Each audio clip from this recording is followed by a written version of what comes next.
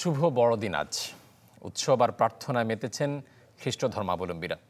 এ নিয়ে আরও বিস্তারিত জানাতে এই মুহূর্তে রাজধানীর হোটেল সোনারগাঁয়ে রয়েছেন সহকর্মী জিনিয়া কবির সূচনা। আমরা যাচ্ছি তার কাছে। সূচনা, বড়দিন উপলক্ষে যে যে আয়োজনগুলো রয়েছে সে বিষয়ে আসলে দর্শকদের জানা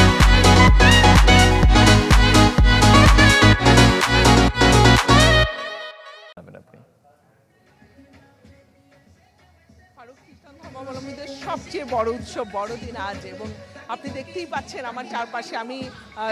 প্যান প্যাসিফিক সোনারগাঁ হোটেলে আছি এবং এখানে কিন্তু কিডস কার্নিভাল হচ্ছে এবং এটি বাচ্চাদের জন্য এবং যিশু খ্রিস্ট খ্রিস্টান ধর্মাবলম্বীরা বিশ্বাস করেন যে যিশু খ্রিস্ট তার জন্মদিনে শিশুদের মধ্যে কিন্তু তার তিনি বিরাজ করেন এবং তিনি পৃথিবীতে আসেন এই শিশুদের মধ্যে দিয়ে এবং এ কারণেই কিন্তু শিশুদের জন্য নানা উপহারের ব্যবস্থা থাকে এবং নানা ধরনের ব্যবস্থা থাকে এবং আপনি দেখতে পাচ্ছেন যে সোনারগাঁয় যে কিডস কার্নিভালটা হচ্ছে সেখানে স্যান্টা রয়েছে এবং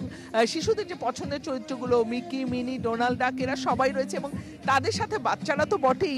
যারা বাচ্চাদের যারা অভিভাবক আছে তারাও কিন্তু আনন্দে মেতে উঠেছেন এবং নানা ধরনের আয়োজন আয়োজন রয়েছে শুধুমাত্র শিশুদের জন্য এবং সকালের প্রার্থনা ছিল গির্জাতে এবং তারপরেই কিন্তু আসলে খ্রিস্টান ধর্মাবলম্বীদের মূল গন্তব্য হয় পাঁচ তারকা হোটেলগুলোতে কিংবা তাদের নিজ নিজ বাড়িতে এবং এটা এক মহামিলন মেলা এবং